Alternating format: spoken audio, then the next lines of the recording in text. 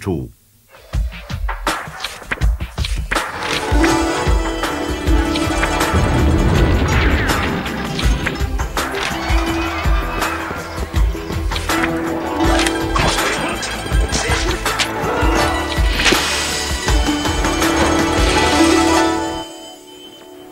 欢迎和我们一起翻阅日历，我是周群。我是恩泰，这个天儿特别热，其实这个时候我觉得解渴解暑的应该是绿豆汤啊。嗯而煮绿豆汤可能最好的工具就是高压锅了，又快又好吃啊。嗯但是我听到一个笑话挺好玩的，说这个妻子在家煮绿豆汤，啊连给丈夫打了四个电话，问他说：“老公啊，这高压锅的阀在哪儿啊呢？”阀就是那个出气口那个东西啊，结果找了半天一直没找到，眼看这两个人在电话里就要吵起来了，突然听到妻子惊呼：“哎呀，老公不好了，我把阀和锅一起煮了，他 把那阀混在绿豆绿豆当中。对放在这个锅里没看见。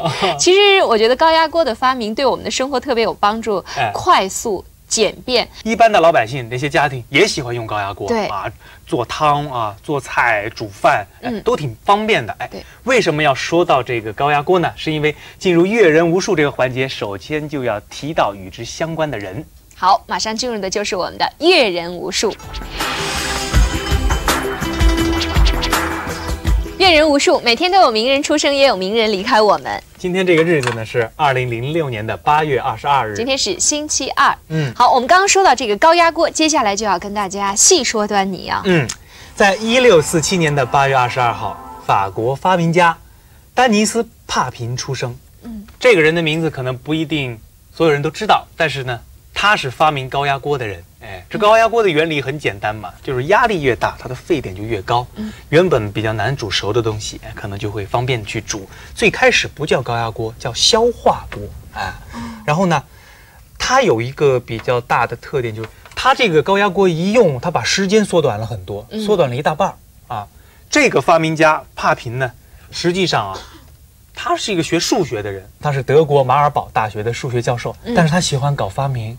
也正因为这个呢，他他挺穷的，他老是把自己的精力和钱都放在这上面。接下来我要给大家说的是一位体坛明星，一九五七年八月二十二号出生的史蒂夫·戴维斯。来看照片儿。嗯，一九八三年起啊，这位有着“天然金块”和“活力法师”绰号的斯诺克奇才啊，就接连赢得了五场世锦赛的冠军。我们前两天刚好说到这个，但凡是这个头发少的运动员，都属于技巧型的运动员。对哎他也是技巧型的运动员。非常厉害。你想，五场冠军，两场屈居亚军，嗯成绩的确是令人刮目相看。嗯他是第一个被摄像机完整记录下来的，呃，单杆打出一百四十七度满分的选手，而且是世界上第一个在一个赛季里比赛中赢得了五十万英镑的斯诺克选手。打台球能够致富发家呀！你知道吗？每一年他从这个签名儿、参加表演和有关的活动当中收入有多少？嗯，五六千万。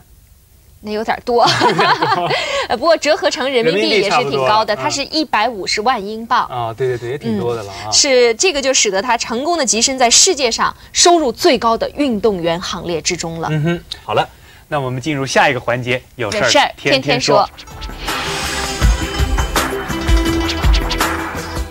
家事儿、国事儿、天下事儿，有事儿天天说。嗯，恩泰，我去过的地方多吧？对这一点你不得不佩服我吧？我以后一定要去一些更多的地方，坦桑尼亚、毛里求斯、刚果、利比亚。其实我跟你说发达国家你都去了。不，主主要是我觉得我去过的地方对我们这节目特有帮助。我发现他说的都跟我去的有关系。对对对今天我要给大家介绍的是我去过的卢浮宫。嗯哎，卢浮宫里有三件宝，你知道是什么吗？卢浮宫里三件宝，就是无非就是一些名画，你说哎？给你介绍是萨姆特拉斯胜利女神雕像、维纳斯雕像，还有蒙娜丽莎的画像。有蒙娜丽莎应该是最著名的吧？这几个。今天我要给你说的就是蒙娜丽莎，因为在一九一一年的八月二十二号，一九一一年的今天，蒙娜丽莎这幅画被偷走了。这是一个特别重大的事件。嗯嗯，一般来说，从一个博物馆里偷东西那是难上加难。特别难，实际上，卢浮宫它管理的并不是很严密，并不像我们想的那样哈。这有资料，大约有两万多件作品就是从卢浮宫被偷掉的。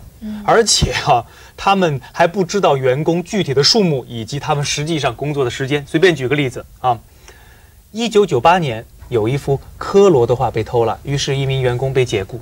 这是九八年的事儿，离今天还不是特别远。也就八年的时间哎，这个保安被解雇之后，两年多以后才把自己的钥匙还给了这个博物馆。就是说，在这两年之内，他还可以随便进这个地方，就跟进自己家的门一样。从这个小事可以看出来，其实，在很多方面，卢浮宫做的并不是很。而且，我觉得九八年这个时候离我们已经非常近了，应该说这个保安工作做得非常好。我们把这个主题收回来哈。关于我们今天说到的这个被盗事件，那个主人公是谁呢？除了蒙娜丽莎之外，还有一个人，他的名字是叫做温琴佐·佩鲁贾，是一位三十多岁的意大利人，他是个油漆匠。嗯，为了方便起见。接下来我们说这个人就叫他油漆匠。好，他其实是卢浮宫里的油漆匠。他是卢浮宫里的油漆匠。嗯，一开始就想偷了。他想偷的那个画还不是蒙娜丽莎，他是想偷那个战神与维纳斯。后来他在卢浮宫听到一些参观者一直在赞赏这幅画，哎，后来想想。干脆偷偷这个吧，嗯，而且这幅画的体积要稍微小一点，哎呀，跟其他的画比起来特别小，哎，然后方便携带，放在衣服里面一弄，它就可以出去。后来呢，的的确确，他就这么定下了目标，要偷蒙娜丽莎。在一九一一年的八月二十二日清晨，哎，那天是一个礼拜一，礼拜一卢浮宫闭馆，对，这个油漆匠实际上已经事先前一天呢，躲在那个卢浮宫里面一个小屋子里，嗯，好了，到第二天闭馆日，没什么人。跑出来了，把那个画从那个意大利的画框当中取下来，卷起来藏在衣服下面，然后再把门上那个螺丝拧下来，逃之夭夭，这画就没了。哎，这只是故事的开始哦。嗯，后来啊，马上引起了媒体的关注。但凡有一个事情引起媒体的关注。就会变得不一样。媒体的力量是无穷大的。原来蒙娜丽莎没有那么有名的，嗯，没有没有太多的人说啊，它是最好的画，多么了不起，国宝怎么没有？但是这画一丢了之后，意大利的报纸、法国的报纸纷纷在头版头条大量的报道这画。被窃的这个情况，你知道吗？这就应验了一句话，叫“失去的才是最珍贵的”啊！你像意大利人就有复杂的心理了。原本这画是意大利人的画，他们本来就想啊，这个画本来是我们国家的，现在在法国被偷了，他们也很心疼。太过分了！哎，意大利的报纸就这样报道哈，他有一个漫画，漫画大致是两个人在那个梁上偷那画，梁上君子。嗯，哎。那那个名字有点像我们现在一个好莱坞大片的名字《Mission Impossible》，它是写什么呢？哎，这个漫画的名字叫做《将不可能的事情变为可能》。没有什么不可能的。这就是这就是这个意大利的那边的一些报道的情况。法国就也是很多的篇幅在报道这幅画，呃，老百姓真的就开始有点激动了，哎呦，想找这幅画。为什么呢？报道上都说这有可能是我们有史以来见过的最完美的画。好了，我这有一份资料。蒙娜丽莎名气大增，法国人才知道自己的国家还有这么好的画。嗯，把八月二十二日定为国难日，全国四万多人精神失常。到了八月三十日，卢浮宫重新开馆，大量的法国人去参观，伤心悲哀，两万多人哭着喊着祈求窃贼把画拿回来。可见啊，这个蒙娜丽莎这幅画在大家这个心目中的位置啊，你知道吗？这个画失窃之后，讽刺性的明信片出来的特别多。还有一张明信片呢，是一个窃贼啊带着画是逃之夭夭，但是呢，警卫却在酣然。入睡。嗯还有一张明信片呢，蒙娜丽莎咧着嘴微笑着说：“四百年后，我终于又重获自由了。”耶！哎，说到这儿啊，我顺便说一下，嗯，插一下话哈，很巧合，也是在八月二十二号某一年的这一天啊，嗯，有一幅非常著名的画，啊，挪威画家蒙克的《呐喊》被偷了。我见过，哎，这个我见过，这个真迹啊，在哪儿呢？在上海。有一年来上海展览。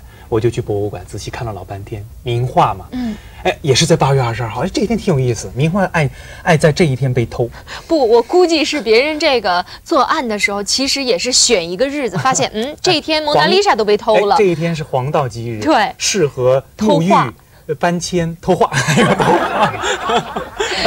这是一个一个我们插进来说的一个事儿。对，这个画呀被偷走了，但是这个油漆匠呢始终把这个画拿在自己的手中，其实并没有马上出手，因为他也害怕，怕这个立马被发现了嘛。这是真是风口浪尖上。嗯，到了一九一三年啊，我觉得这油漆匠挺挺背的，你知道吗？他揣着一幅名画，但是又不能出手，于是呢，他写了一封信，嗯，给一位佛罗伦萨的古董。商声称要把画还给意大利，要换五万里拉的费用，暗示呢他是受这个爱国心的驱使才来做这个事儿的。五万里拉那才多少钱啊？其实现在现在想想，蒙娜丽莎那是什么价位？其实是叫无价 （priceless），对，根本就你你你就是开再高的价，这人法国政府也不可能把这画卖给你。对，